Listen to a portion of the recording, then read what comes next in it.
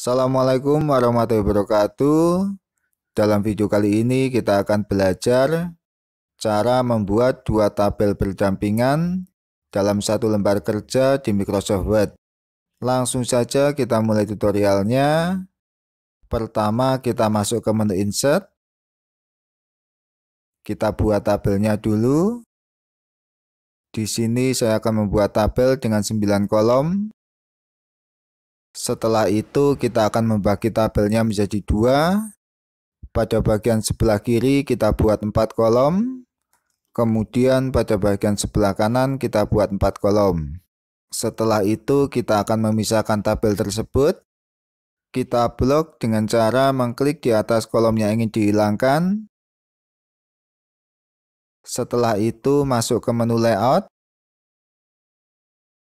Kemudian pada bagian sebelah kiri, kita pilih eraser. Selanjutnya kita tinggal menghapus satu persatu garisnya. Maka secara otomatis tabelnya akan terbagi menjadi dua. Kemudian apabila ingin menambahkan kolom menyamping, kita klik di situ, kemudian masuk ke menu layout, setelah itu kita pilih insert right atau insert left. Di sini saya pilih insert left. Maka secara otomatis kolom menyampingnya akan bertambah.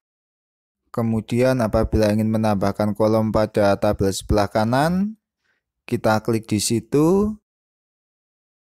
Kemudian saya pilih insert right.